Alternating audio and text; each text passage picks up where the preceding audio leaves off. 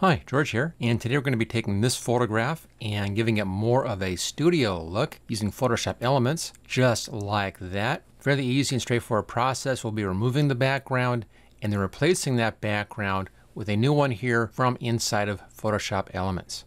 If you want to work along with this project, you'll find a download link for this picture in the description. Also, if you enjoy these videos, I do videos here for Elements and also Photoshop and Affinity Photo and some other stuff. I'm going to be moving all of these videos, all my new ones, over to a new channel called HTG Photo. So if you want to keep up with all of my new videos for all of my photo and graphics projects, make sure you go over to HTG Photo and subscribe over there. Okay, let's get to the project. I'll just close down this file right here, and I'll go back to the original right there. Now, if you're working in one of the newer versions of Photoshop Elements, at this point you can go up here to Select and Subject, but I'll do this the old way for everybody who doesn't have that new feature there. First thing we need to do is to go over here to the background, right click and duplicate layer, choose OK. Okay, we now need to come in and make a selection around our figure. Again, this is where you could use that subject select. But we'll just use a lasso tool here, just a standard lasso. Make sure set on new. I have my feathering here set at one pixel. And then just go up here and make a quick selection right around the figure. I'll begin fairly close, but not actually touching the figure. Just close like that. Doesn't need to be perfect. This is nothing special on this one. A little bit of a bump right there. And then you can go outside for going across the bottom. That's fine. And then up on this side and around. There we go. Again, just following the hair around. That's fine. And up around the top again. And back to the starting point. So I'm in and out a little bit. Doesn't matter. This will work out great. Now, click on Refine Edge. Here's our Refine Edge tool. This is a pretty small brush size. So I'm going to bring the brush size up. And you'll find the brush size right down here. I'll just bring it up just a little bit, maybe about 43. That looks a bit better. I'll type in 50 down there. I think that's even better for this image. Over here on the refine mode, I'm using in the view here the overlay. This gives it kind of that red coloration. For me, this works out the best of all these different modes. That's one I always use.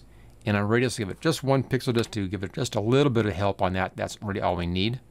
And then come in here right up next to the hair. So you're overlapping into the hair a little bit. And then brush right along like that. And I'll usually come in and do just a couple of strokes. Now in here there's a lot of the background showing through that hair. So I'll do this just a couple of times like that. And get all those hairs in there. And then work your way around the figure here in just little strokes. And just work your way around. If you're too far out like we had right down here, just work in a couple of strokes like that. Now start out further out and then come in closer. And that'll work out great. And then same thing across the top here, over the right hand side. And again, come outside a little bit and then work in. And just go clear on the figure. I found it works better if you just do just little strokes like that and you don't try to do the whole thing in one big shot. And work around the whole image here, all the hair. There we go and then around this side and right down there. Now it came through just a little bit down here, lost a little bit of that jacket, so I'll just switch to this tool. This is the erasing tool, and I'll come down, I'll just carefully erase right along that edge. I'm just freehanding this, and that should be fine. And that just puts it back to the way it was. Okay, there we go. Now come down here where it says Output To and change this to New Layer with Layer Mask, and choose OK. It does two things for us. It gives us our layer mask. If I hide the background, you can see that. There we go. And also it gives me this as a backup copy as well. So I have my copy right here. We changed the background, so I wanted to have a copy. Now in here it's a little bit kind of strange right around in here. A little bit of a ghosting happening. We want to have some of that. But you can bring this down a bit by going over here to the right hand side. That's your layer mask side. And the left hand side all the way over here. Over here and click on the burn tool I have my exposure set at about 50%. And I'll bring my brush size up a little bit here. Maybe put that back to 50 again, so same brush size. And just come in and brush in here. This will increase the contrast of that area and that tends to sharpen up the mask on those spots that are just a little bit thick still. Doesn't take much, but I'll usually do this just around the edges of hair. It helps to do a real nice edge. Don't want much over here because it's kind of a little thin wispy hairs. I want to have some of that showing through still. But right down here, I can bring this down just a little bit, and that will improve that look. Okay, that's all we need to have for the figure. She's fine. Let's now come down to the background layer down here and then come all the way down to graphics. And in graphics, I have it set for backgrounds. And this is under by type. We have several options here. By type is the top choice and backgrounds. And then just scroll down. It's a long ways down here. There we go. It's right down here.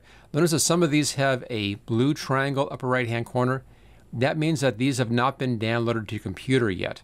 So if there's a blue triangle over here, you'll have to make sure you have a currently active internet connection and then double click on that. It will then download that, just takes moments, and you can then use it to send on your computer, and it's there for use as much as you want in the future. So I'm just going to double click on this. It brings in that background. There we go. Let's go back to layers, and you see now how that background was changed. That's why I wanted to have this one saved as a backup copy. If you want to be able to play around, try some different backgrounds, the trick here is to go to this new background, right click, duplicate that layer, choose OK, hide the background, that's when it gets changed, and then we can work with this one up here. And these new backgrounds come in as smart object layers, which will not work for what I want to do next. So right click on that layer and come down to simplify layer. This converts that into just a regular graphics layer. Now I want that because if you see right in here, you can kind of see a little thin line right here and right across here. That's where this background is repeating. And I don't want to be seeing those little lines. And we can fix that easily enough by blurring out our background just a little bit. So go up here to filter, come down to blur and Gaussian blur. And I have mine set for five, which I think is a really good number for this. It just kind of softens that background out. Okay, let's now center our figure. Go back up here to the figure layer and I have my move tool selected. And I can just pull her around anywhere I want to but I want her just basically right about in the middle which is right there. I'm just eyeballing it but that's about right right there. Okay so far so good. Now let's work on the values. She's a bit on the dark side. She was in a dark background before. You can show that again here. Real dark area there. So I want to brighten her up for the studio look.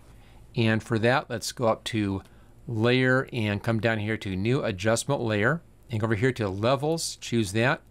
And where it says use previous layer, just check that checkbox, choose OK, and there's our levels controls. The left side is the darks, right side's the lights, and the middle side here is the medium values. I'll pull the medium to the left, that's going to lighten things up. Right about in here someplace looks pretty good. I'll pull the whites in a bit more for a bit more brightness in the hair. You can see how the hair gets brighter there. It's just the bright side. And that looks pretty good right there. And by pulling in the middle, we also lost some of the richness in the darks. So pull the left side in just a little bit and bring back in just a touch of that. You don't want to go too far or it begins blocking up like that. So just a little bit, bring back a bit of that richness. This we're also seeing a bit more of the folds in here in the shirt and that looks nicer. So there we go. Get that out of the way. Okay, one last thing I want to do with this background. This is all looking really good. Let's go on to our background layer and let's put a vignette on this, kind of darken the edges around. An easy way for that is to go up to the filter menu, come down to correct camera distortion right here, and vignette, that's this box here, just move that clear to the left, and that darkens down those corners, choose OK, and there we go. That really helps to make the figure pop by darkening down the background just a bit and darkening down those corners. Now the nice thing about this technique is I can change to different backgrounds if I want to easily enough just hide that one, show the current background, and you can change this background as much as you want. Go back down to graphics. I could choose something else in here. We'll just scroll down a little bit and find something different. Maybe this thing right here, wherever that is, just double click on that. Brings in a new background. Or I can come down here a bit further. You can just pull down on that scroll wheel. A little different right here. This one had a download. There we go. So I downloaded that background. So easy to change these backgrounds. Again, this is a new download for me right there. And each time you do that, it's going to stay on that one background layer. If you want to keep this and try a few more and go back and forth, then you want to make a duplicate of this background, right click, duplicate layer, choose OK.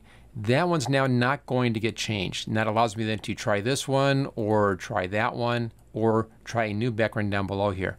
And again, I would always blur these out a little bit. So to blur it out, right click, simplify, and then the Gaussian blur. Filter, blur, and Gaussian blur. Just a little bit helps in there.